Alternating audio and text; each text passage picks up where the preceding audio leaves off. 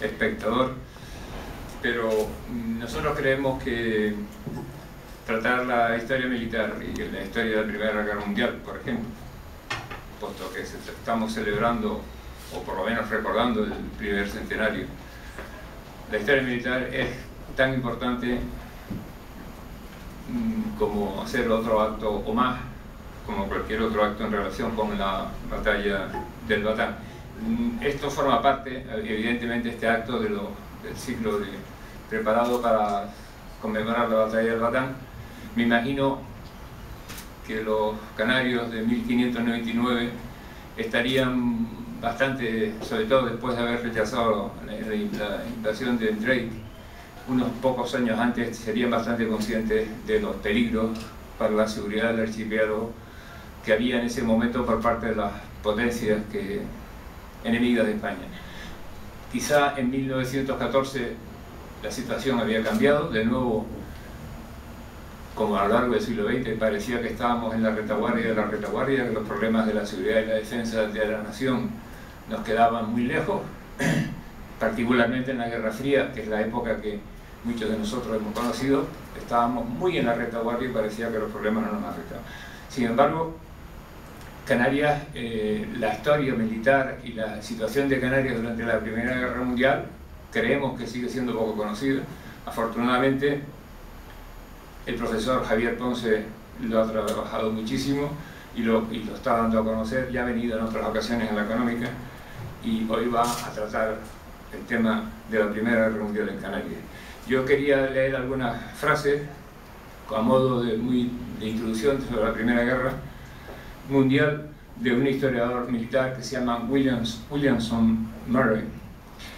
el fracaso de la diplomacia en julio de 1914 trajo el gran conflicto temido por algunos y anhelado por muchos a lo largo de Europa, mientras que los reservistas se acercaban a los, cuarteles, multitudes aclamaban las declaraciones de guerra.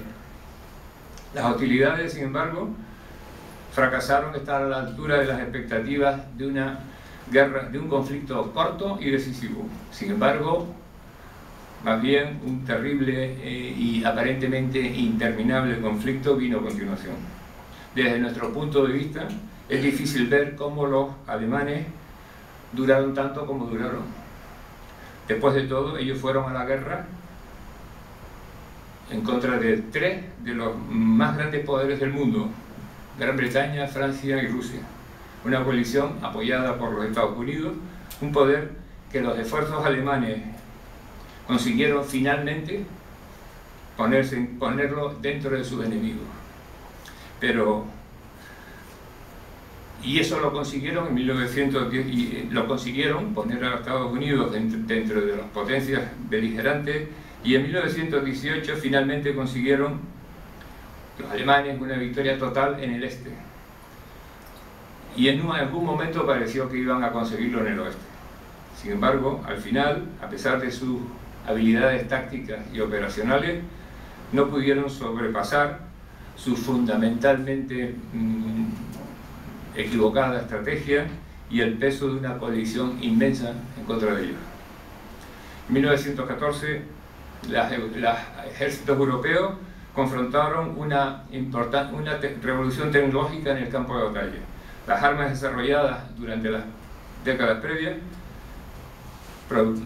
proporcionaban un poder de fuego eh, de una, eh, en una medida sin precedentes y presentaba importantísimos problemas a las eh, organizaciones militares occidentales.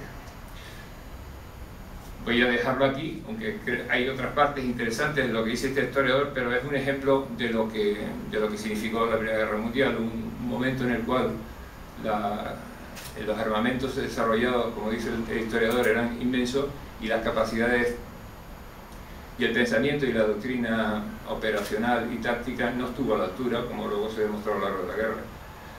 Y para hablarnos de Canarias, donde la carnicería no ocurrió, está el profesor Javier Ponce, profesor titular de Historia Contemporánea de la Universidad de Las Palmas. Se licenció en la Universidad de Historia Contemporánea de la Universidad de Salamanca y se doctoró en la Universidad de Las Palmas Gran Canaria con un premio extraordinario de doctorado y premio a la mejor tesis doctoral. Estudió estudios europeos en la Universidad de Lovaina y desde 1993 ha impartido docencia en Historia Contemporánea Universal, Historia de las Relaciones Internacionales de los siglos XIX y XX, Historia de la Política Exterior Española en los siglos XIX y XX, además de numerosos cursos de doctorado.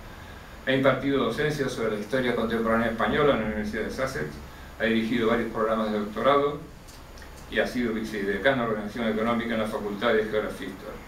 Sus principales líneas de investigación son la política exterior española y la proyección internacional de Canarias durante finales del siglo XIX y especialmente durante la Primera Guerra Mundial. Ha investigado y, realizado numerosas estancias en universidades y centros de investigación en España, Bélgica, Reino Unido, Alemania, Estados Unidos y Holanda y ha sido invitado a muchos congresos y conferencias internacionales en estos países. Algunas de sus publicaciones referidas a la Primera Guerra Mundial son Canarias en la Gran Guerra, 1914-1918, Estrategia y Diplomacia, un estudio sobre la política exterior española, política exterior de España, en 1900 publicado en Las Palmas en 2006. Y aquí una serie de artículos y, en distintas eh, obras colectivas de, eh, editadas en algunos casos fuera de, unos cuantas fuera de España. Eh, actualmente es, investigador, es investigador del proyecto de investigación que se llama Neutral entre Neutrales, estudio comparado de la neutralidad española durante la Primera Guerra Mundial, que se está ejecutando con profesores de la Universidad de Bristol, de Ámsterdam y la, Universidad Nueva de Lisboa. Y por último, ha sido invitado por la Universidad Libre de Berlín a, a trabajar en un artículo sobre España durante la Primera Guerra Mundial para el proyecto 1914-18 online la Enciclopedia Internacional de la Primera Guerra Mundial, que será accesible con motivo del centenario de la guerra. Y a continuación, tiene la palabra Pedro.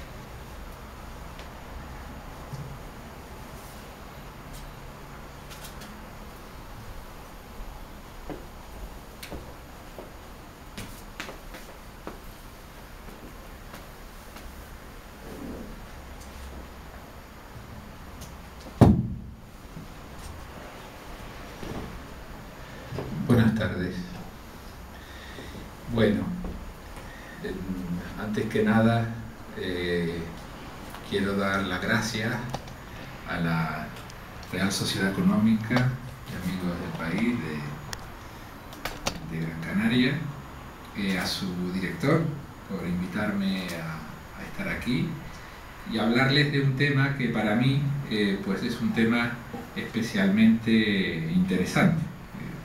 Cuando a uno le invitan a, hablar sobre, sobre cuestiones en las que lleva trabajando muchos años, pues, pues lo agradece. Hay un peligro que tiene, que tiene esto. Algunos de los amigos que tienen la amabilidad de acompañarme, que me han oído hablar de estos temas, pues ya lo han sufrido. Y es que cuando uno se apasiona con algo, le suele dedicar demasiado tiempo.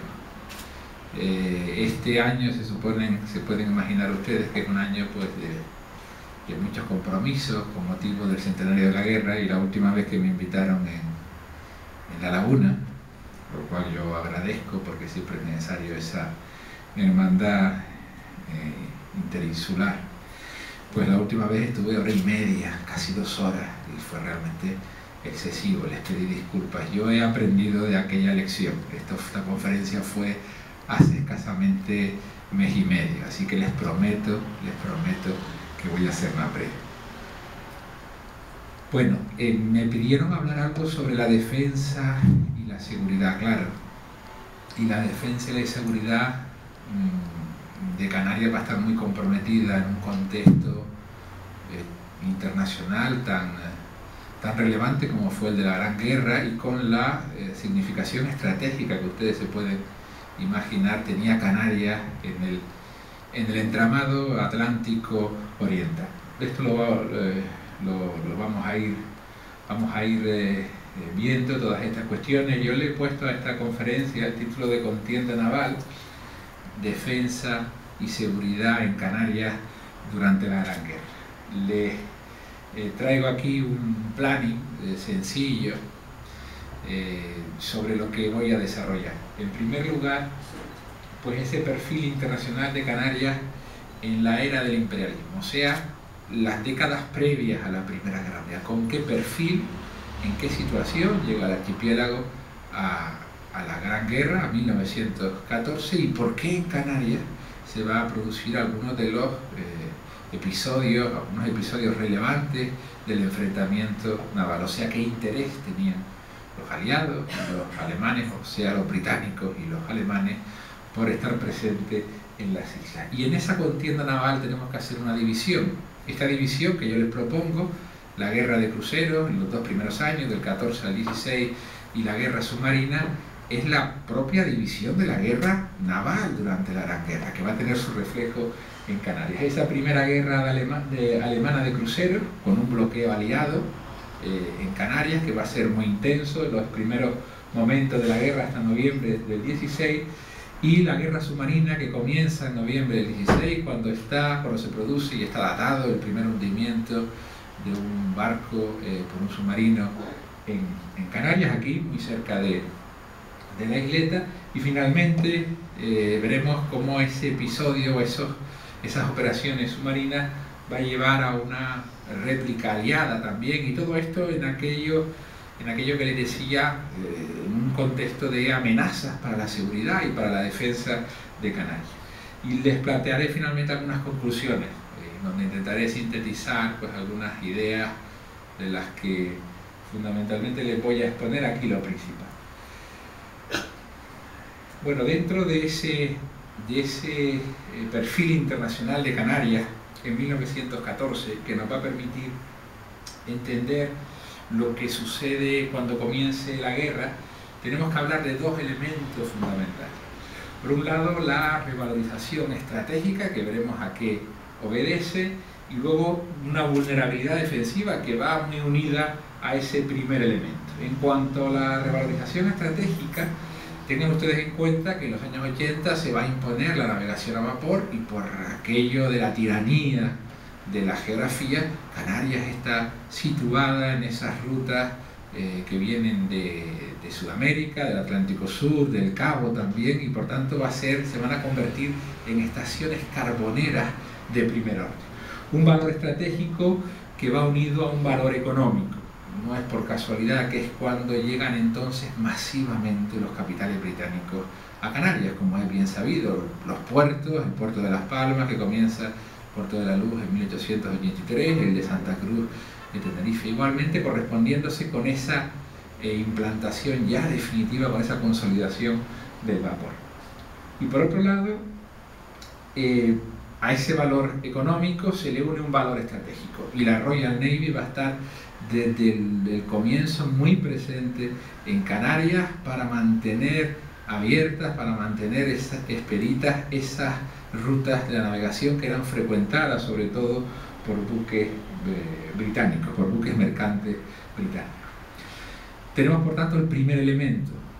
Canarias se puede argumentar, siempre ha sido un punto estratégico, es cierto, pero ahora asistimos a una clara revalorización de ese tradicional valor estratégico. Y esa revalorización estratégica va a ir unido a este segundo elemento que yo les propongo que es la vulnerabilidad defensiva, que va a ser también creciente, eh, va a ir a la par que, ese eh, mayor valor estratégico. Fíjense que estamos en un, en un contexto, el noroeste africano, que va a ser cada vez más valioso para las potencias europeas. Estamos, yo les estoy planteando un marco cronológico que comienza en 1880 aproximadamente, o sea, el que se corresponde con el imperialismo en ese imperialismo, saben ustedes seguramente que el noroeste de África fue uno de los últimos territorios en repartirse, Marruecos en concreto, porque era un territorio muy codiciado, también porque la organización política del Maxen, del gobierno eh, del sultán de Marruecos, era más fuerte, pudo resistir mejor a los europeos, pero sobre todo porque había intereses encontrados, y entre ellos los de Gran Bretaña, lógicamente. Marruecos estaba, era la frontera sur de Gibraltar y era la entrada del Mediterráneo. Bueno, pues en ese espacio estratégico se ubica Canarias. O sea que asistimos a una vulnerabilidad defensiva porque hay más potencias interesadas de entrada en, ese, en este espacio más cercano a las islas.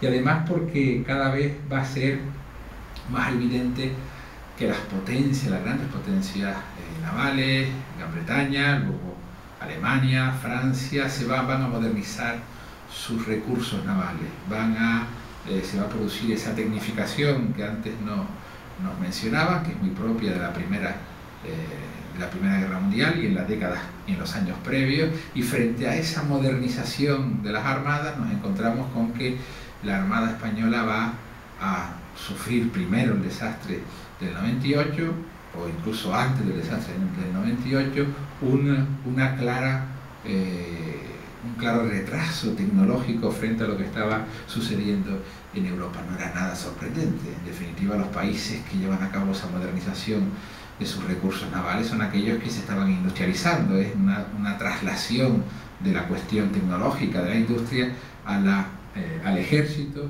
y a, la, y a la armada. En España esto no se produce. O sea que esa vulnerabilidad defensiva viene dada por un lado por ese mayor atraso, por ese desfase tecnológico y por otro lado porque además en este espacio ahí se concentran los intereses de las potencias imperialistas. Dentro de, esta, de este perfil internacional, 1898 efectivamente es una, es una fecha importante para España y para, y para Canarias. Eh, fue eso que les pongo en la diapositiva, fue una constatación en el 98 de la vulnerabilidad defensiva y también de la nueva posición internacional de España, un imperio ultramarino que perdía esas colonias ultramarinas y que volvía a recuperar su frontera euroatlántica que había eh, perdido cinco siglos antes, cuando la expansión América-España vuelve a ser de nuevo una potencia básicamente europea y Canarias se convierte en la frontera sur, efectivamente, el territorio de plena soberanía española, exceptuamos por supuesto lo que sería Río Muni y las colonias africanas, pero fue Canarias, se convirtió Canarias en el territorio de plena soberanía española más alejado. Y fíjense, más alejado, y en ese, eh, en ese contexto de apetencia por el espacio geográfico en el que se ubicaban las islas. En el 98 además España va a sufrir una crisis, bueno, una crisis que es muy conocida eh, a todos los niveles, la crisis del desastre, el regeneracionismo, eh, que fue un movimiento que intentaba regenerar internamente el país, pero también externamente, esto se suele conocer bastante menos. Fue una coyuntura realmente de gran ansiedad internacional para España porque en el 98 España pierde en principio Cuba, luego pierde Filipinas, la propina fue Puerto Rico, los territorios absolutamente indefendibles, los archipiélagos del Pacífico, que se vendieron a Alemania, y por tanto en el 98 el reparto de las colonias de los territorios españoles había comenzado, pero nadie podía asegurar que había finalizado. O sea que Canarias, y fíjense que ya Canarias era un territorio muy apetecido, Canarias podía formar parte finalmente de ese reparto. Bueno, esto en alguna ocasión, incluso eh, la, última vez que estuve aquí, eh, lo explicaba, ahora simplemente eh, les voy a decir que bueno, Canarias acabó bajo la soberanía española, se mantuvo la soberanía española en el archipiélago por una cuestión de intereses de las potencias. Realmente Estados Unidos no tenía intereses en esta parte del Atlántico, sus intereses estaban en el Caribe y en el Pacífico y por tanto no tuvo necesidad, la guerra tampoco se prolongó, no tuvo necesidad de, de, desplazar una armada a, Canarias. Mm, los británicos lo que querían básicamente era mantener sus intereses hegemónicos, que ya lo eran, o sea, mantener el statu quo, que fue lo que, lo que consiguieron, y los franceses que les preocupaba básicamente que otra potencia que no fuera España no ocupara las islas, porque pondría en peligro sus posesiones en el noroeste africano. Y Alemania, que era otra potencia que reclamaba territorios, pues los encontró en esos archipiélagos de las Carolinas, de las Marianas, de las Palaos, que se le, que se le vendieron en esa coyuntura. O sea que al final Canarias acabó siendo parte, efectivamente, se logró cerrar el reparto, el reparto, la distribución de territorios, pero convertida ya las islas, convertidas en la última frontera, en la frontera sur, con ese, con ese siempre carácter eh, indefenso o más vulnerable defensivamente que tiene toda frontera. Bueno, en Canarias Fíjese cómo el 98 es una llamada de atención importante en la seguridad del archipiélago. Estamos a 20 años, apenas 15 años eh, del comienzo de la Primera Guerra Mundial. En Canarias la hegemonía iba siendo británica y los alemanes van a estar, van a estar muy presentes en esos años anteriores a la guerra. Esto además yo cuando explico eh, historia de Canarias suelo decir que es uno de los procesos que realmente, mm, unos procesos contemporáneos que primeramente encontramos en el archipiélago. Cuando explicamos la historia contemporánea de Europa, hablamos de las revoluciones industriales, las revoluciones políticas, las revoluciones liberales, nada de esto lo vemos en Canarias. Pero cuando hablamos del imperialismo, cuando hablamos de la expansión del capitalismo, realmente Canarias se va a integrar de pleno en este movimiento europeo. Y uno de los elementos que define esa expansión imperialista es la rivalidad anglo-alemana. Paul Kennedy, un historiador de la Universidad de Yale, lo estudió hace muchos años. Bien, pues esa rivalidad la vemos perfectamente reflejada en Canarias. Fíjense que estamos en los tiempos de la Weltpolitik. De ustedes ya pues hacen una, una traducción muy sencilla de esto, mundo política, la política mundial de Guillermo II, una política que ahora demanda mercados, que ahora demanda territorios. Alemania había llegado tarde al reparto. Y uno de los últimos territorios a repartirse, uno de los últimos espacios, le decía, estaba aquí, en el noroeste africano. Bueno, esa Weltpolitik está muy presente en las islas. Recuerdan ustedes perfectamente nuestro edificio Bormann, ese depósito eh, que, fue un depósito de carbón, ese edificio que fue un depósito de carbón que los alemanes obtuvieron en 1904. El único depósito alemán frente a todos los depósitos que eran británicos. No había siquiera depósitos españoles. Todos los depósitos eran británicos. La única excepción fue el depósito de la Warman en 1904. En Santa Cruz de Tenerife había que esperar a 1913 cuando, justo antes de la Primera Guerra Mundial, cuando se establezca un depósito alemán que iba a ser también el único frente a los eh, británicos. En 1906, fíjense que son años, estamos en, apenas a 7, 7, 8 años del comienzo de la Primera Guerra Mundial. En 1906 se produce eh, la solicitud del, del amarre del cable alemán, el único cable alemán en el Atlántico Sur que va a amarrar efectivamente Tenerife y que se va a atender en 1909. O sea que estamos viendo que Canarias efectivamente el valor estratégico para los británicos, por supuesto, que dominaban las islas, pero también para los alemanes que intentaban eh, ganar posiciones en el, en el Atlántico iba a ser muy importante.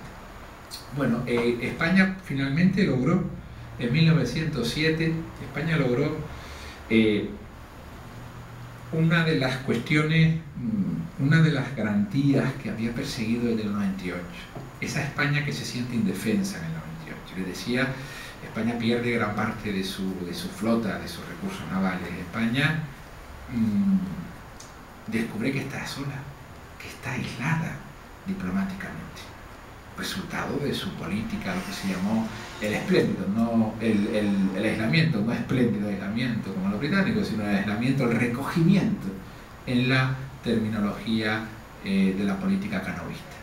Bueno, ese recogimiento para España en el 98 significa el descubrimiento de la soledad internacional.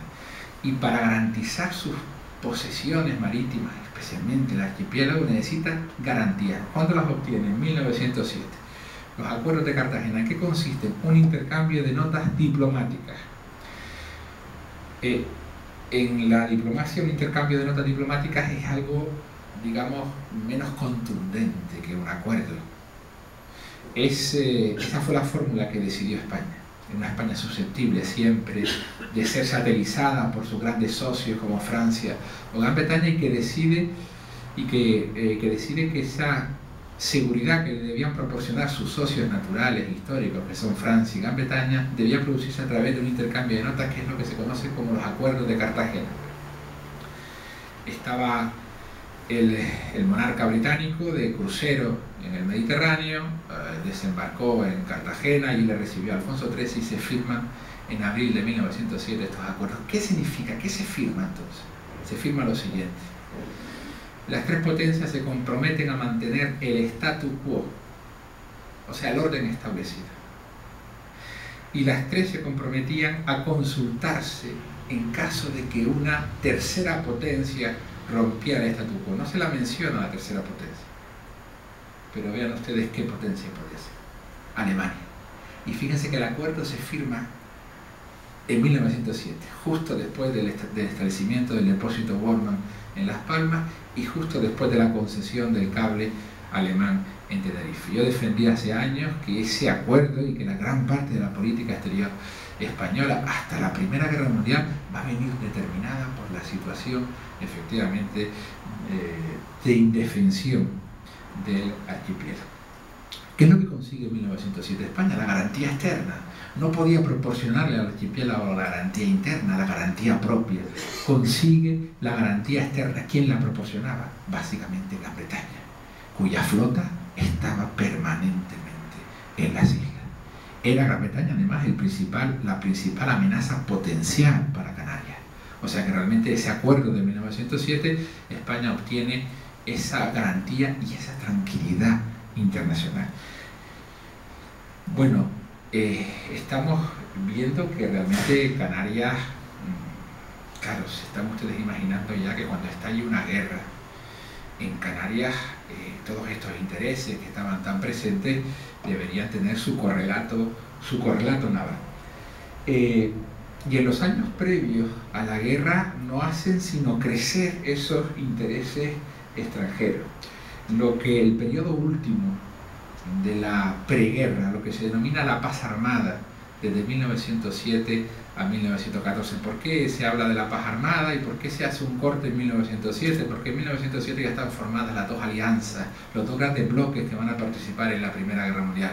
La, triple alianza que ya estaba formada con Italia, aunque Italia, bueno, Italia va a tener un papel, un papel eh, distinto, se va, no va a participar en la guerra, y luego la triple entente, Francia, Gran Bretaña, Rusia, ya han, firmado sus acuerdos. Bien, pues en, esos últimos años antes de la guerra, Canarias vuelve a estar muy presente en alguna de las grandes crisis internacionales. Eh, hay una crisis, les decía antes que Marruecos fue el último territorio en repartirse. Los alemanes que necesitaban territorios y solo les quedaba prácticamente Marruecos por repartir en África, los alemanes provocaron varias crisis a propósito de Marruecos. La última fue en 1911, cuando una cañonera sale de un puerto canario, no por casualidad, y va a Agadir. Y en Agadir reclama los intereses alemanes. ¿Por qué les menciono esta crisis? Bueno, esa crisis se solventó después de un momento de gran tensión internacional. En ese momento Alemania y Francia, Berlín y París tienen que negociar. Y en esas negociaciones, Berlín, que juega la base muy dura, una negociación muy dura, le va a exigir a Francia compensaciones. Si quiere Francia que Alemania se olvide de Marruecos. Bien, Francia le va a ofrecer a Alemania parte del, parte del Congo francés, que se incorpora al Camerún. Si ustedes un día ven un mapa del Camerún alemán en 1911 y lo ven en 1912, verán que el Camerún alemán creció.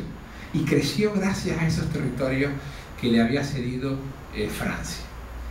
¿Qué hace Francia a continuación? Le pasa la factura a España y le dice, nosotros hemos conseguido que los alemanes se olviden de Marruecos y el precio lo hemos pagado nosotros. Ahora ustedes tienen que compensarnos. Y le exige a España todo el territorio sur, incluyendo este territorio que para los canarios tiene un gran significado, Sidifni. ¿Qué tenía Sidifni? Pues no tenía nada era arena, pero sí tenía algo no físico, no material que interesaba mucho a España. Era el hinterland defensivo de Canarias, era la retaguardia defensiva de Canarias. Las autoridades en Canarias se movilizaron rápidamente. La propia Real Sociedad Económica, como otras instituciones, dirigieron telegramas a Madrid la situación en la que podría quedar Canarias si frente al archipiélago estaba Francia sería realmente de una mucho mayor vulnerabilidad defensiva. Bien, Francia jugó la base con España mm, una negociación muy dura también. Finalmente, como ustedes saben, Sidi fue, acabó siendo colonizado por los españoles, ya mucho más tarde. Pero ahora quien garantizó que este territorio seguiría siendo español fue Gran Bretaña. Gran Bretaña, cuando ya España estaba dispuesta a cederle a Francia Sidi Ifni, Gran Bretaña le recordó a los franceses que Canarias era un territorio de especial interés para Gran Bretaña, aquella colonia sin bandera. Esto que yo siempre suelo decir cuando se plantea el debate de si Canarias fue una colonia sin bandera, un debate que no tiene mucho recorrido. Canarias fue absolutamente una colonia económica británica, que era lo que perseguían los británicos. Oiga, pero no tuvo la bandera. Jamás hubieran querido los británicos la bandera. Es el, modelo propio del imperialismo británico, disfrutar de todos los beneficios económicos. Y disfrutaron de todos los beneficios económicos. Todas todos los depósitos de carbón, les decían, eran británicos. Ya saben ustedes, los cables, además del alemán, eran fundamentalmente británicos, franceses. El primer cable que conectó Canarias con el exterior fue el cable francés a, a Dakar. O sea, realmente Canarias estaba en manos de los capitales extranjeros y especialmente británicos, los hoteles, el agua, bueno, el suministro, saben ustedes todo, todo lo que significaron los británicos para Canarias. Bueno, al final el embajador alemán Ratibor acabó, cuando acabó la negociación, dijo algo que yo descubrí en la documentación alemana y que a mí me, me, pareció muy expresivo de lo que había sido esa negociación a propósito de Canarias. Ratibor, cuando acabó la negociación en 1911, dijo, Islas Canarias por la gracia de Inglaterra. O sea, Islas Canarias que mantienen en definitiva su retaguardia defensiva, su plena soberanía española gracias a la defensa ultranza que habían hecho los británicos de la posesión española del Siri. Y bueno, llegamos ya a la, a la, Primera Guerra Mundial.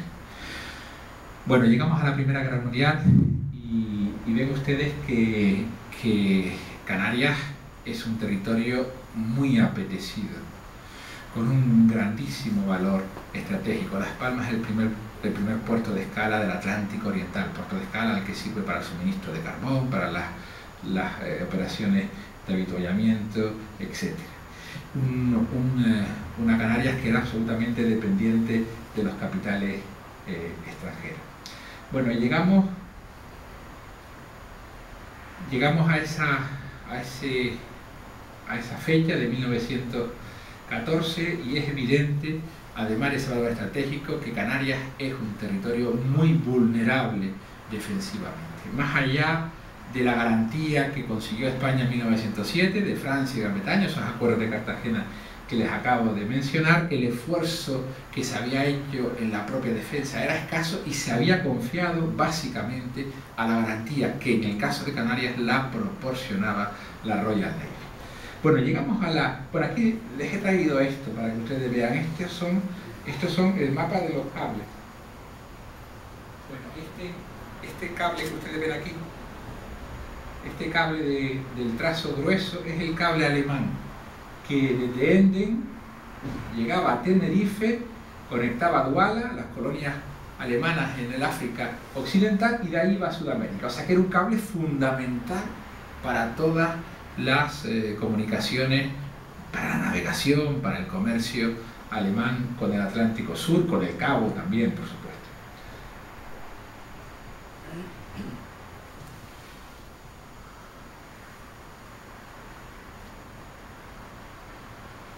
Bueno, llegamos a la guerra, 1914.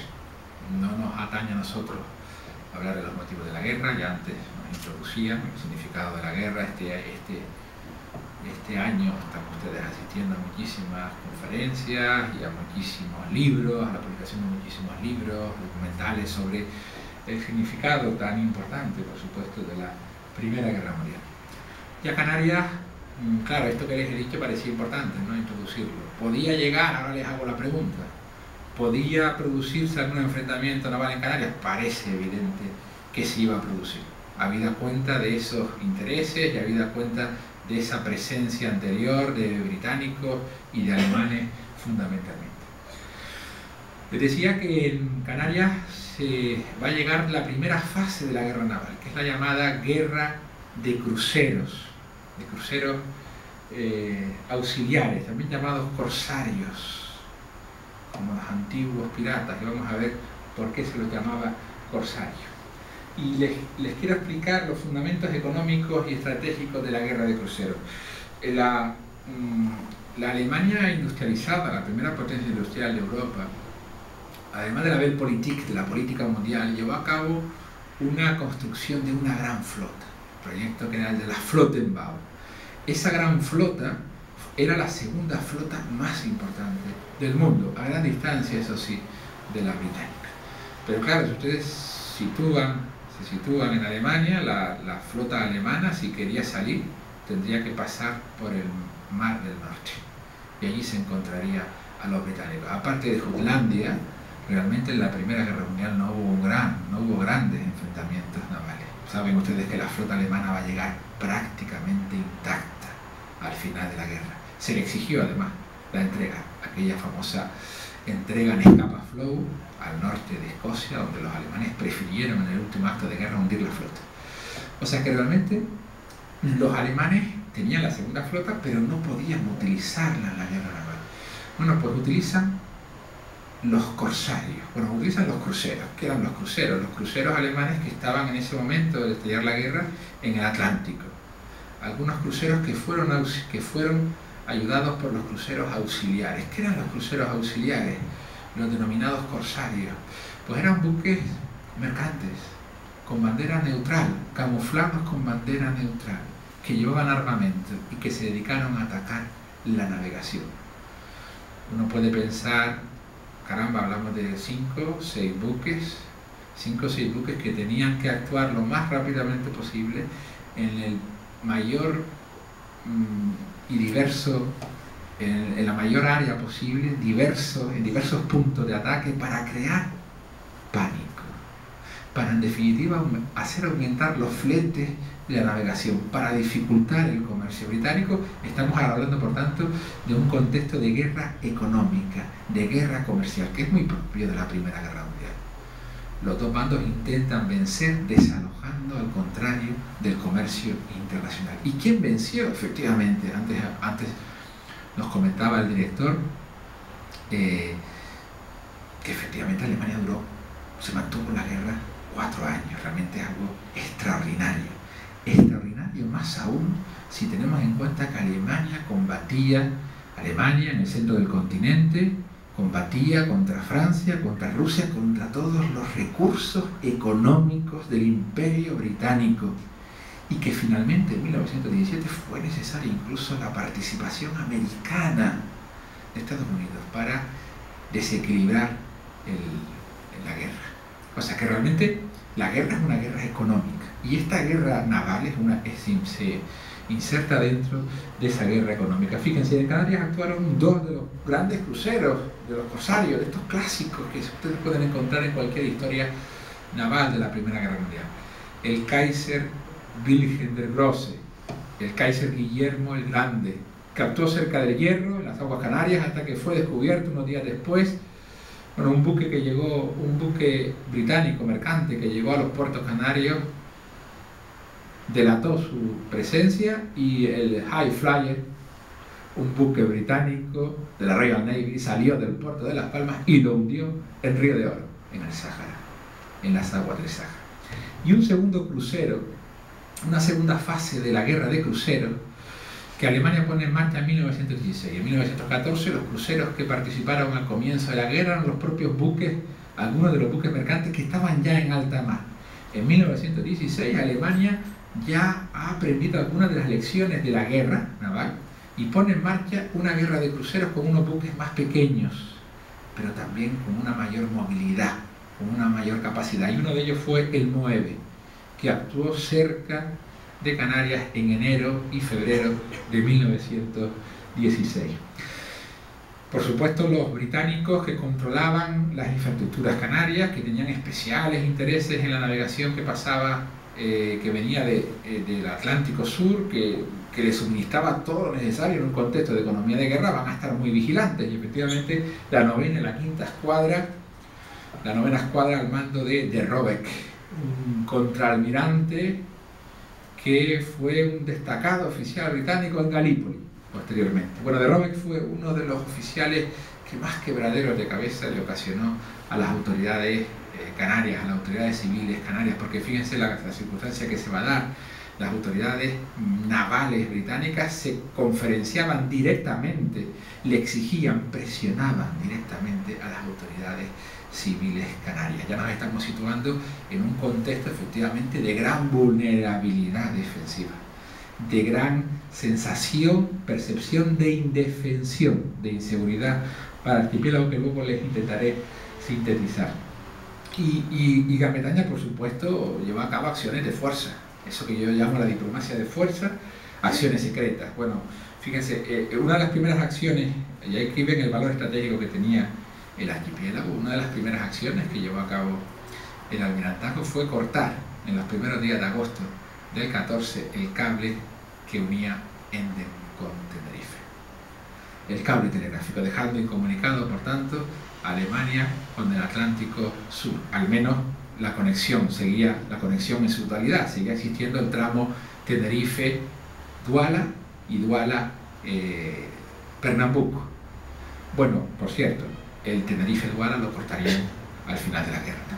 O sea que realmente los británicos llevaron a cabo acciones, ese bloqueo aliado, para controlar las acciones de los, eh, de los cruceros alemanes. Se pensaba que a través del cable se comunicaba la información del movimiento de buques información que era fundamental para los, eh, para los eh, alemanes. Además, realmente, en Canarias el papel de Canarias en la guerra de cruceros fue muy importante. Eh, el, Kaiser, el Kaiser Wilhelm der y otros cruceros alemanes fueron abastecidos por buques mercantes alemanes que estaban en Puerto Canario. Fíjense que Cuando estalla la guerra, durante toda la guerra, claro, los buques alemanes, ante la superioridad naval británica, los buques alemanes que estaban en los puertos neutrales quedaron durante cuatro años en esos puertos.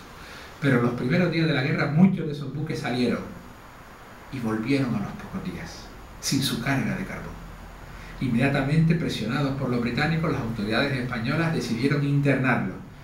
Habían suministrado efectivamente carbón al Kaiser Virgen de Grosse, al Karlsruhe, un crucero alemán, de esos cruceros efectivamente que estaban en el Atlántico y que formó parte de esa, de esa primera eh, campaña naval alemana. O sea que realmente Canarias había desempeñado un papel fundamental y las acciones de esos cruceros se habían también desarrollado en aguas canarias por la importancia estratégica que tenía el archipiélago. O sea que los británicos estaban muy interesados en mantener su control. El contraalmirante de Robe que les mencionaba envió a uno de sus oficiales a La Palma. Y en La Palma se va a producir una de las situaciones de mayor tensión en estos primeros momentos de la guerra. El oficial británico le dice al delegado del gobierno que o bien interna el Pamir, buque, un buque, un buque legendario para los palmeros. El Pamir fue un buque, un velero que estuvo cinco años en, La Palma. Recuerdo la primera vez que fui a La Palma hace años, eh, después de, haber hecho yo mi tesis y haber visto la documentación alemana sobre la... Pues enseguida pregunté y recuerdo que algunos palmeros recordaban, se les había contado la historia del Pamir. Eh, hay una agencia de viajes incluso que tiene muy apropiado nombre, La Palma, que tiene el nombre del Pamir. Bueno, un buque que los eh, eh, británicos consideraban que había, que era un centro de espionaje, lo van a considerar en toda la guerra. Pero eh, una de las acciones que lleva a cabo este oficial con instrucciones de Robeck fue exigirle a las autoridades el internamiento de este buque y en caso contrario se tomarían las medidas que creyeran oportunas. Estamos hablando de un oficial que se dirige a las autoridades de un país neutral, en aguas neutrales, protegidas por el convenio eh, de la Haya de 1907 que hablaba de las obligaciones y de los eh, derechos de las potencias neutrales en caso de guerra. Bueno, por supuesto, los británicos eh, establecieron un servicio de espionaje muy efectivo, muy férreo, Normalmente, igual que en la primera, que en la segunda guerra mundial, que ustedes conocen algunos episodios que forman parte de esa, de esa, de esa leyenda, eh, normalmente se suele hablar más del espionaje alemán. Realmente los que, los que practicaron un espionaje intenso fueron los que poseían el control de las infraestructuras, que fueron los británicos, que controlaban el número de buques cada noche que había en puerto, los movimientos que se producían, tenían muchísimas eh, muchísimos recursos en los puertos, como ustedes saben, como ustedes ven, todos los depósitos, eh, todos los trabajadores de las compañías británicas, la Miller, la Elde, etcétera, que trabajaban para la causa británica. Bueno, aquí tienen eh, algunos de los hundimientos. Dice que más este, este es un mapa británico que se publicó en una de, los, de las historias de la Primera Guerra Mundial en el mar. Los hundimientos del Kaiser Wilhelm der Grosse en, cerca de la isla del, Hierro, este es el Galicia, en el Caipara, la Arlanza, el Nianga, cuatro buques que fueron hundidos. Bueno, todavía estábamos en el comienzo de una guerra, una guerra todavía no tan cruenta. Uno de los buques no fue hundido porque llevaba pasajeros civiles. Este, este fue el buque que luego comunicó a las autoridades consulares que existía, que estaba la presencia del, del Kaiser Virgen de Rose que fue hundido finalmente en, en aguas del, del. Y este es el, bueno, el recorrido que hizo el Moebe, ese segundo crucero en, la, en esa segunda fase de la guerra de cruceros a comienzos de 1916. Ven ustedes que a comienzos de, del 16 estaba cerca de Canarias. Aquí se va a producir uno de los episodios, además, eh,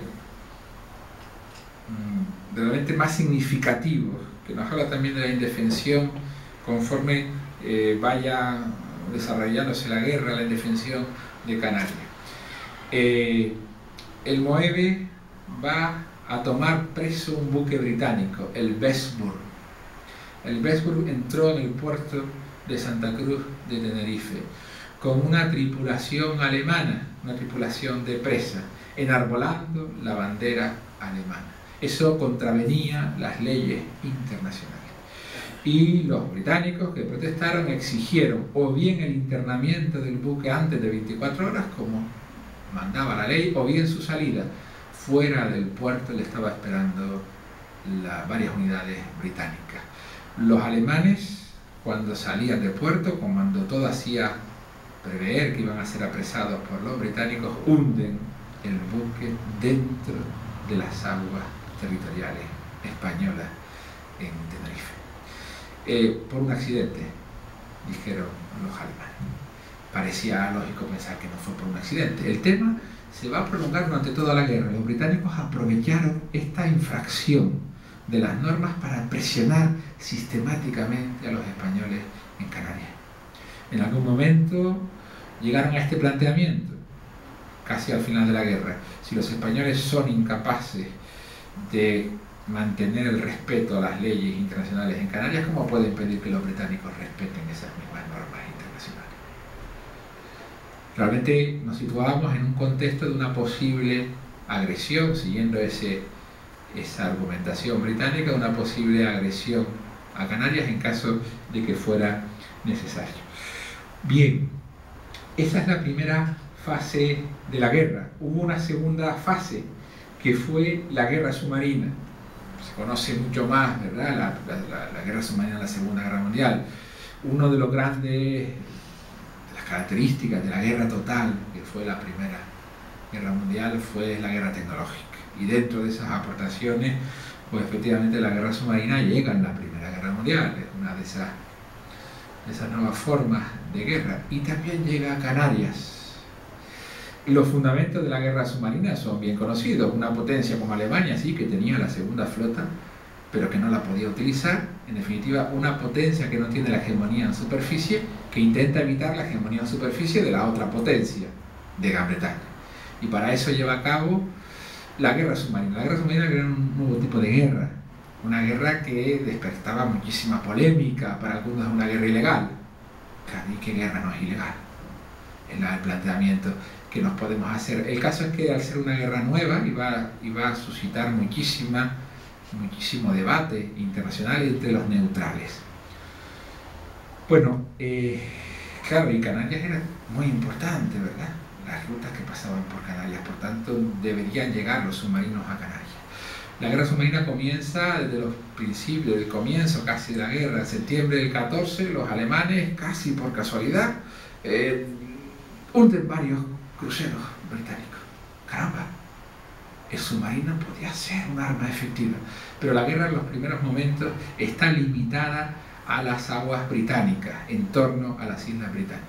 Además, la guerra submarina pues, eh, le plantea a Alemania muchísimos problemas conocen el hundimiento de Lusitania, donde murieron muchísimos americanos, más de mil civiles, la mayoría de ellos americanos, que, llevó a una tensión con los Estados Unidos. No quería Alemania que Estados Participara, lógicamente, en la guerra.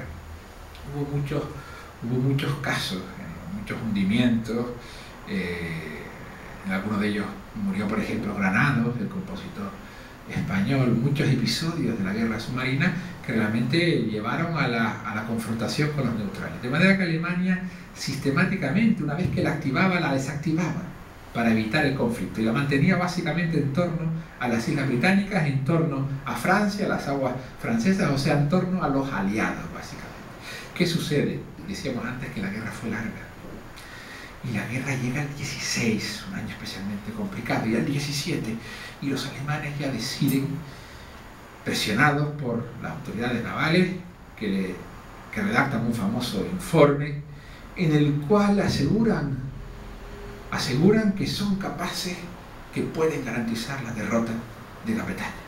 Una derrota a partir de la puesta en marcha de lo que se denominó la guerra submarina a ultranza, la guerra submarina total, en la cual todos los buques mercantes aliados serían hundidos sin previo aviso, pero también los buques neutrales si estaba claro que portaban suministros para los aliados. Claro, esto, esto de que esté claro es algo muy relativo. Imagínense toda la, problemática, los, eh, los, oficiales de los submarinos estaban obligados a contrastar la documentación, por supuesto tenían su propia información. Muchos buques neutrales fueron hundidos sin previo aviso, al igual que los aliados.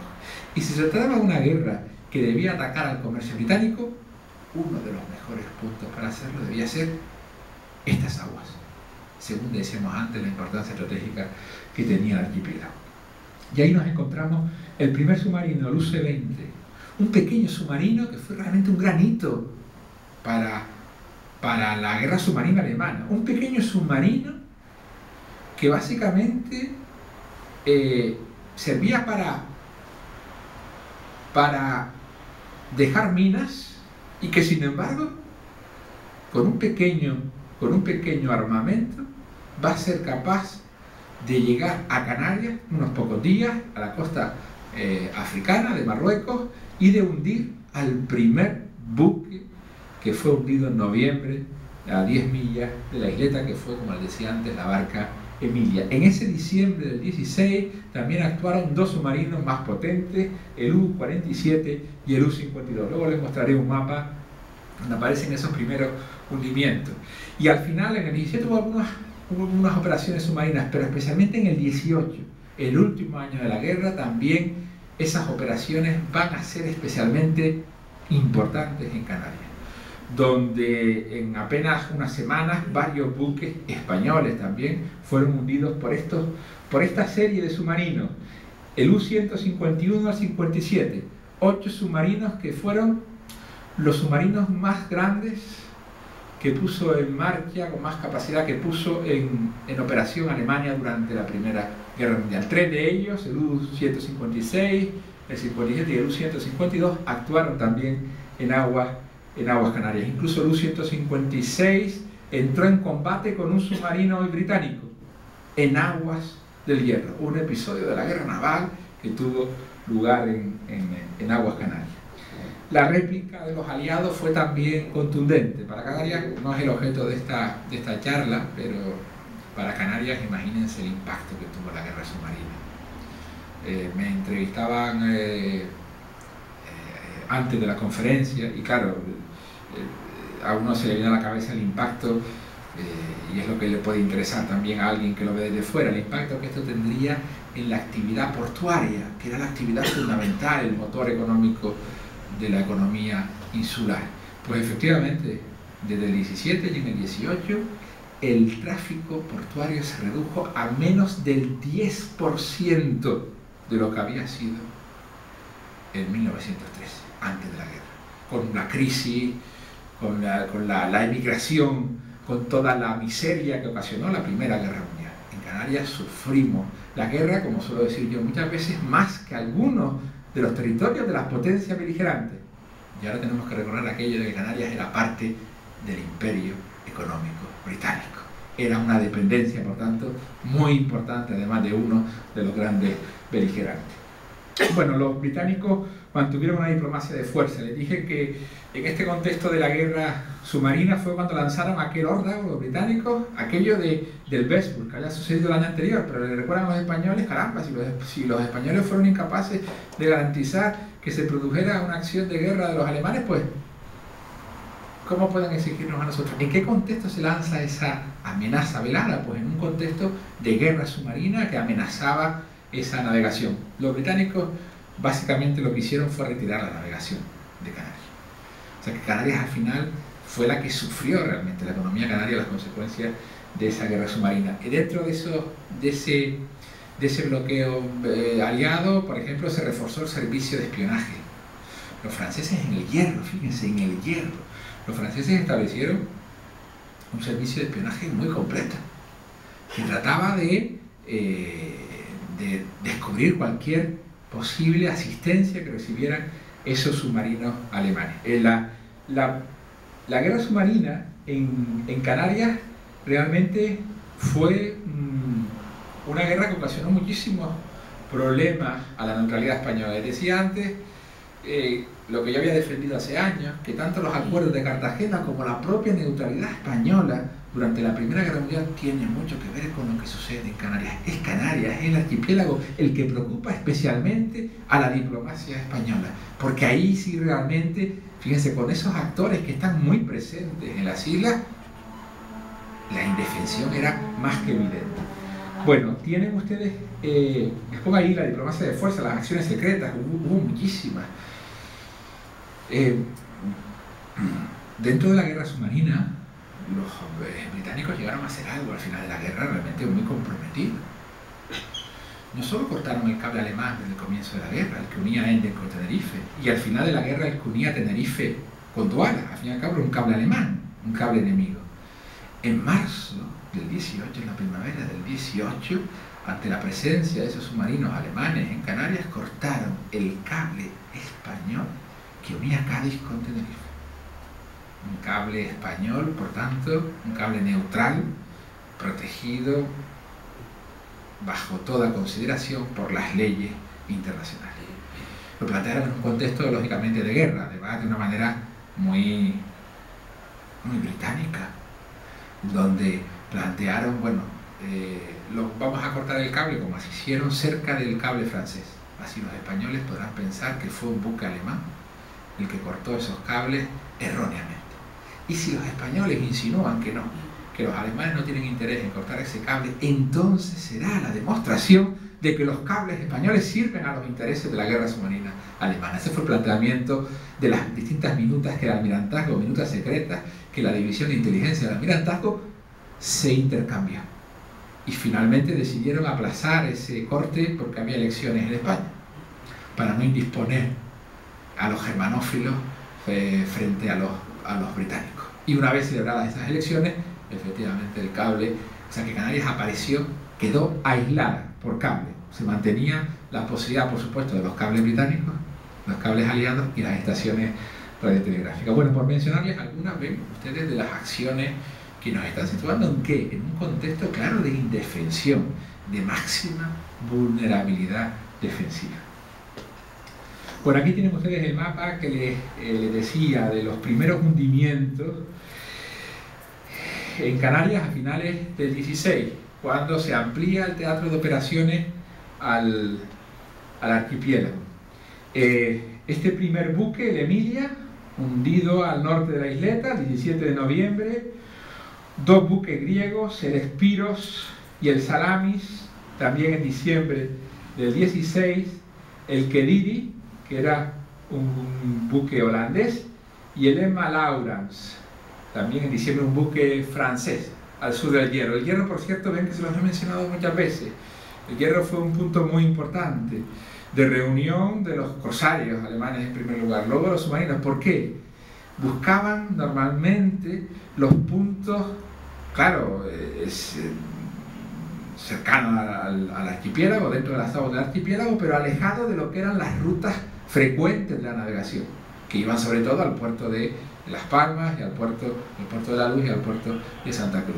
Y se convirtieron, tanto desde 1914 con la guerra de cruceros como en 1918 con la guerra submarina, en uno de los lugares de encuentro. En ese puerto de Naos, en el Hierro, fue donde se produjo ese enfrentamiento naval entre un submarino eh, alemán y un submarino británico. Bueno, eh, he moderadamente cumplido mi promesa de no prodigarme al menos no más de una hora y les quiero plantear algunas conclusiones. Luego lo que ustedes me quieran plantear, pues eh, aprovecho para comentarles algo más y algo que les pueda haber dejado en duda. Eh, les decía antes que teníamos que ver aquel periodo previo a la guerra, porque si no, no entenderíamos lo que sucedió en Canarias, esa vulnerabilidad defensiva, esa, esa percepción de inseguridad que se vivió en el archipiélago durante esos cuatro años. Y efectivamente, ese valor estratégico, esa revalorización estratégica hace que el archipiélago, que la proyección internacional de Canarias, realmente, esto que les pongo ahí, obtenga carta de naturaleza en el momento, en la época del imperialismo. Ahora es cuando Canarias mm, no se puede explicar realmente, podemos decir que no se puede entender la historia de Canarias sin atender al impacto de lo externo. Canarias se convierte ya definitivamente en un cruce de camino donde llegan esos capitales, donde están todos esos intereses, también muy, muy cercanos eh, o muy eh, relacionados con esos cercanos intereses imperialistas, les decía antes, en el oeste de África. La Primera Guerra Mundial demostró hasta qué punto Canarias era un territorio vulnerable defensivamente, donde se delimitó perfectamente esa vulnerabilidad defensiva como consecuencia de la contienda naval que en sus dos fases ven que llegó a Canarias. Hubo, hubo muchas violaciones de la neutralidad, les he comentado algunas de esas violaciones de la neutralidad, tanto por británicos que espiaban, por ejemplo, practicaban un espionaje. Recuerdo una minuta del, Foreign Office donde se decía al, secretario, a Gray, a Edward Gray, el secretario del Foreign Office, le decía, bueno, el, cónsul nos dice que están espiando en Las Palmas, y claro que esto va contra la neutralidad. Y bueno, los británicos hacen la vista gorda. Esta fue una violación menor, si ustedes quieren, la neutralidad, pero hubo, eh, hubo, como les dije, acciones de guerra en las aguas canarias que eran claramente contrarias ese submarino E-48 británico que, atacó al U-156 lo hizo en aguas canarias. Esos cables que cortaron los británicos al final de la guerra lo hicieron eh, contraviniendo las leyes internacionales. Esos submarinos que en Maspalomas, por ejemplo, sacaban su ropa a secar y que pasaban el día corriendo por la playa de Maspalomas, luego el, encargado del único eh, depósito, establecimiento de, que tenía allí eh, la, de, plátano, que había, que había más palomas, mandaba el informe a la Guardia Civil, que es que Más Palomas había estado durante un día un submarino en aguas españolas. O sea que las violaciones de la neutralidad fueron frecuentes y por las dos partes. Y además, eh, en particular les decía, las amenazas venían de los británicos, quienes realmente podían ejercer la amenaza potencial sobre la archipiélago, porque eran, eran los que estaban presentes. Y hubo dos contextos concretos en los que esa amenaza fue evidente. El primero que les comentaba antes, al comienzo de la guerra, cuando esas autoridades navales, al mando de Robeck, se, se, presentan ante las autoridades civiles del archipiélago y les exigen perentoriamente la toma de medidas que beneficiaban a los intereses británicos, como el internamiento de los buques alemanes que estaban en los puertos canarios. El delegado, el gobernador civil, entonces en Santa Cruz de Tenerife, envió un telegrama en octubre del 14 al ministerio, donde expresa su preocupación y en donde dice que parece que los británicos están buscando excusas para llevar a cabo una acción sobre el archipiélago. Exigía, el, pedía el gobernador que se dieran instrucciones claras para proceder en estos casos. Esa amenaza en octubre del 14 fue una amenaza que la, tenemos que entender en la lógica de que Gran Bretaña se veía amenazada en un territorio como Canarias, en unas aguas como las Canarias, que estaban bajo su, clara, su claro control, bajo su hegemonía, y que sin embargo se veía desafiado por esa guerra de cruceros, por ese Kaiser Virgen de Brose, por ejemplo, que actuó en las aguas canarias. Esa posibilidad de intervención en Canarias en el 14 se planteó en un contexto de guerra corta, porque una de las, erróneas ideas de la Guerra Mundial es que la guerra, ustedes lo sabrán, iba a ser corta. Todos estaban convencidos de que la Guerra Mundial iba a ser corta. Decían todos en el verano del 14 en casa por Navidades. Claro, y nos planteamos, si todos pensaban eso, alguien se equivocaba, ¿no? Porque todos pensaban que iba a estar en casa por Navidades habiendo vencido. No podía ser. Bueno, la guerra duraría cuatro años. Bueno, pues en ese contexto de guerra corta se planteó esa posible intervención en Canarias. La, la, segunda amenaza que aparece recogido en los mentideros diplomáticos, en las cancillerías europeas, es la amenaza de 1918, cuando se rumoreó, y ese rumor circuló y llegó a los alemanes incluso, que los Estados Unidos habían obtenido la, el placer de los aliados para, de los británicos, para intervenir en Canarias. Este fue un rumor, que llegó incluso a oídos del embajador eh, español en, Berlín. ¿Y cómo tenemos que entender esa vulnerabilidad, esa posible amenaza en 1918? Pues frente a la guerra submarina, que afectaba especialmente eh, a Canarias, los aliados decidieron forzar la situación, o amenazaron con forzar la situación, en un contexto ya de guerra larga, la guerra ya duraba cuatro años, en un contexto de guerra ya inclinada hacia los aliados, la guerra ya en agosto del, 18 estaba inclinada del lado aliado. En definitiva, esa amenaza que no se llegó tampoco a, confirmar en un contexto de intentar forzar ya el fin de la guerra a la colaboración española del lado mm, aliado. Canarias, por tanto, esto no, eh, lo pongo en relación con lo que les dije antes, la política exterior española se había planteado en 1907, había obtenido aquella garantía exterior, se había replanteado su ubicación en Europa con aquellos acuerdos de Cartagena y comprobamos, cuando uno accede a la documentación diplomática del Ministerio de Estado, comprobamos que Canarias fue el territorio que más preocupaciones, que más quebraderos de cabeza ocasionó al Ministerio de Estado, entonces Ministerio de Asuntos Exteriores. Que Canarias fue también, esto que les pongo aquí, piedra de toque de la neutralidad española yo he periodizado la neutralidad española y la he periodizado a partir de lo que sucede en Canarias. Les pongo un ejemplo muy claro. Fíjense, los españoles no aceptaron las millas, las aguas territoriales, el Tratado de Londres que establecía esas aguas de responsabilidad española al comienzo de la guerra. ¿Y por qué no aceptaron? Porque más que un área de derechos, era, era un área de obligaciones y obligaciones para un país como España que se veía absolutamente desbordado por la, la, eh, llegada y la, eh, la, presencia permanente de unidades navales de los dos bandos. ¿Cuándo lo hace? Pues lo hace en noviembre del 14. Y lo hace por lo que sucede básicamente en Canarias, para intentar establecer unos límites claros a la acción de unos y otros en el archipiélago. Eh, y además fue el, archipiélago canario el que más presiones sufrió, el que, el que le decía, el que enfrentó a la diplomacia española más conflictos, a más reclamaciones diplomáticas. Por supuesto, el Ministerio de Estado, la diplomacia española reclamó por todas esas acciones navales, ese ataque en aguas, eh, decía, del hierro. En definitiva, Canarias se convirtió, como ven, en un territorio claramente indefenso, claramente vulnerable, que va a suscitar las grandes preocupaciones españolas por la seguridad en el contexto de la Primera Guerra Mundial. Bueno, les doy las gracias por su paciencia y quedo a la espera de alguna duda que me puedan ustedes plantear. Muchas gracias.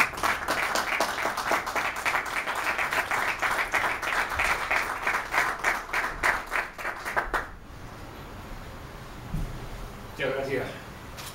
Muchas gracias, profesor. Vino ya a el año pasado para presentar su, contribución a la historia contemporánea de Canarias, que se, presentó en cuatro, en cuatro partes, correspondiente a los cuatro, los cuatro grandes apartados. El profesor vino en el, apartado correspondiente, que hoy se ha muchísimo Supongo que habrá alguna pregunta. Adelante. Bueno, en primer lugar, como estamos presentando, no me, me pongo de pie, felicitar al doctor Ponce por esta intervención que se hace enormemente significativa, más en el día que hoy celebramos, porque como bien hablaba al principio de esa revalorización del papel estratégico de Canarias, que era por el que llegó unos siglos antes el propio almirante Juan de Roy por aquí, que no le interesaba ni la caña de azúcar ni los vinos, sino la posición estratégica, indudablemente. Entonces, eh, la verdad que lo he disfrutado mucho y hay que agradecerlo. Ah, que hay que, hay que agradecerlo. Y se ocurre, la verdad que alumbra muchísimos temas que, seguro, que como bien decía, nos podrían tener aquí hasta, hasta la madrugada, ¿verdad? Eh, enormemente. A mí se me ocurren algunas reflexiones que parten casi de cuestiones que se han tomado como anecdóticas en la, tertulia normal histórica de las islas, pero que a la luz de esto parece que pueden tener mucha más trascendencia que la pura anécdota. Por ejemplo, en referencia a la primera parte, ese, primer proceso de internalización de Canarias, el mismo viaje del rey Alfonso XIII en 1906 a Canarias. No es un viaje ni folclórico, ni, ni, de relax, ni turístico. Y además, curiosamente, que con los buques que acompañan al rey protegiendo esa, esa, no voy a decir armada, porque no fue una armada, ese, conjunto de barcos, habían buques de guerra franceses, portugueses y no sé si británicos o los británicos estaban aquí se sumaron con el viaje en Inglaterra. O sea que era curioso, ¿no? La, la presencia de esa, esa, esa, entente que al año siguiente se reúnen en Cartagena y que además se va a casar con una princesa británica en esos años. O sea que este es el primer tema su madre austriaca. O que era complicadísimo. Segundo tema que se me plantea curioso. Cuando en 98 mm, la isla se, por lo menos se artilla algo, se traen, se hacen defensa, se hacen bastantes defensas, ¿no? En el año, en el año 41-42, con la Segunda Guerra Mundial, también ah, se mejoran las defensas del archipiélago. Sin embargo, en el 14 no se oye, no se ha hablado tanto de esa mejora de defensa y, además es curioso que en toda la conferencia hemos hablado del gobernador civil que pide a Madrid, eh, las presiones sobre el alcalde o que sea, pero no se ha nombrado para nada las comandancias de Marina. Es verdad que la presencia de la Armada en ese año, esos años es absolutamente casi mm, simbólica, las comandancias están más dedicadas más casi a la Marina mercante que a la cuestión de guerra, pero no se ha mencionado el papel de la, de la, de la Armada en Canarias, ¿no? frente a todo ello. Y por último, como otro hecho anecdótico, pero que a mí me llama la atención, en 1916 viene de Estados Unidos, más a toda prisa, porque, sí, porque tenían miedo de que los americanos lo requisaran para entrar en la guerra, el primer submarino que compran los españoles, el Isaac Peral. Podía haber ido a Ferrol, que quedaba yo creo que está más cerca, yo no sé de navegación, pero viene al puerto de la luz directamente y además de forzar la máquina, viene con, con defecto y lo tiene que arreglar la Casa Miller, me parece que sea de, de la industria de aquí. O sea que es curioso que el primer submarino llega en ese contexto de la guerra de la guerra submarina también.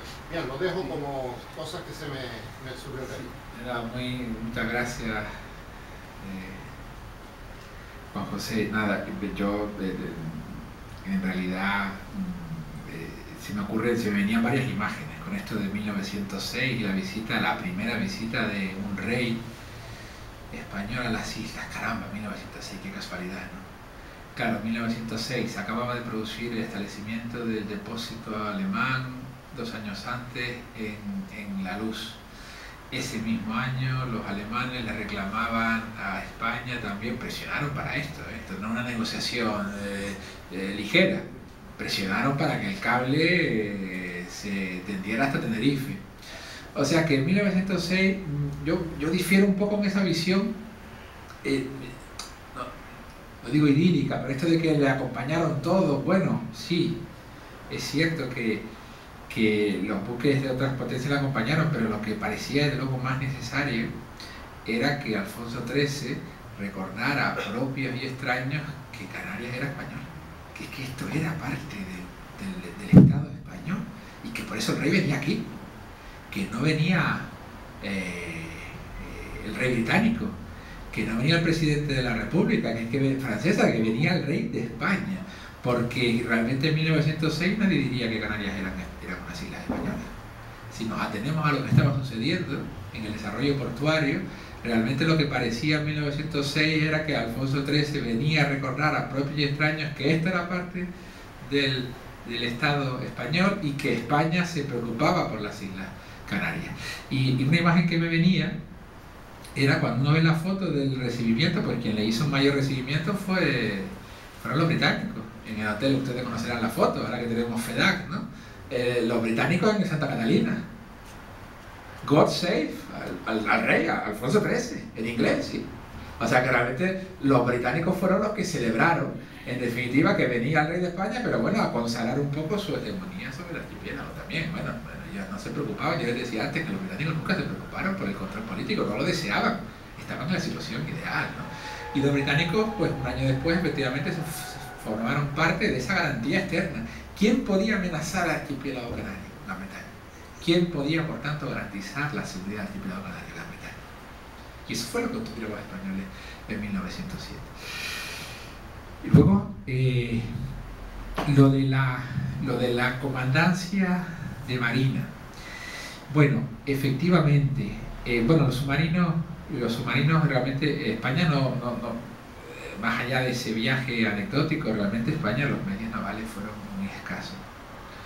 Eh, España, no lo mencioné antes, pero España, mm, las autoridades navales siempre, digamos que la autoridad central, por supuesto, era, era la capitanía de Tenerife, y las autoridades navales que tenían escasísimos recursos, pues siempre exigieron más medios a Madrid.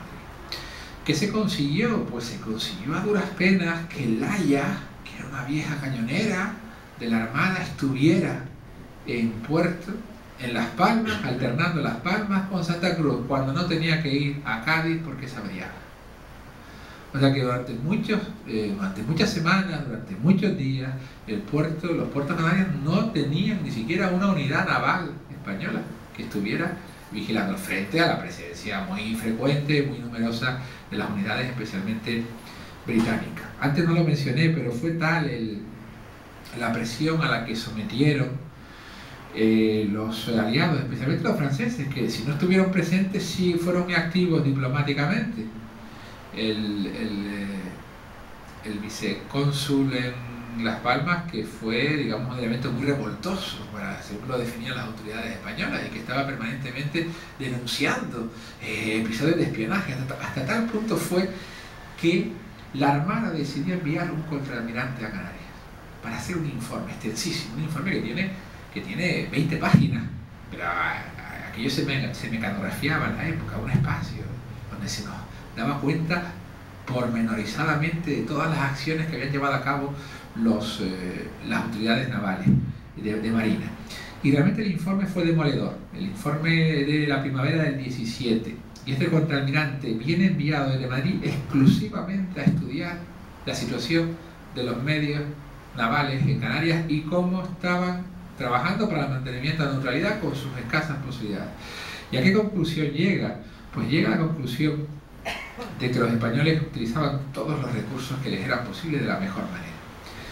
Eh, muchas veces se ha dicho que en Canarias se producía suministro. Saben ustedes que además que, hay una, una, leyenda en la Segunda Guerra Mundial que ustedes conocen muy bien y que, ya todo el mundo le da, le da el carácter de, de, realidad y de verdad.